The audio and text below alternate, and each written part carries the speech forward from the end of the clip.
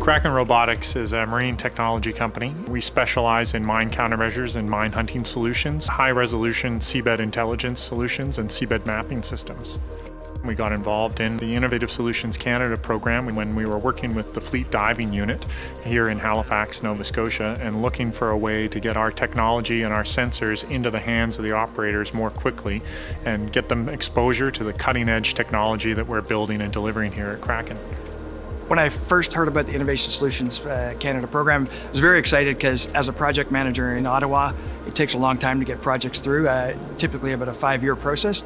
But with Innovation Solutions Canada, it's a one-year plan. You sign for the innovation, you figure out the uh, test plan, and you trial it all within a year.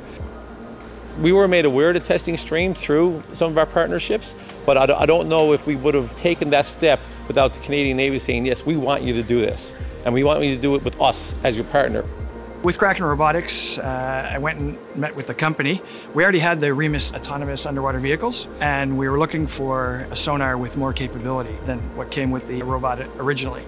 We put together the paperwork and how we were going to trial it to confirm how it worked against our robot and then compare it against the others. So we also had uh, Naval Engineering Test Establishment, NETI, and we also had uh, Defense Research Development Canada. They were testing a large number of sonars, and then we had them do the Kraken sonar also, and it came out to be the best sonar of the bunch.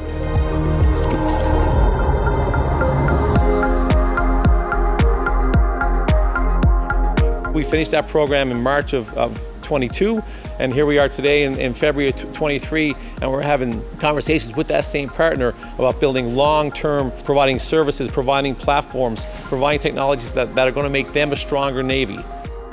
The ISC program has been a very valuable tool in enabling our growth. It's allowed us to take these testing results around the world. It's allowed us to demonstrate a valuable relationship with the Canadian Navy as we go and market these solutions internationally. And it's allowed us to actually innovate and improve the capabilities that we're delivering. The ISC program is really just an enabler for that. It, uh, breaks down a lot of the barriers of procurement. It provides a funding mechanism. It provides a contractual relationship that allows the users and the service providers, the technology providers, and the SMEs to connect in a, a fast and efficient way.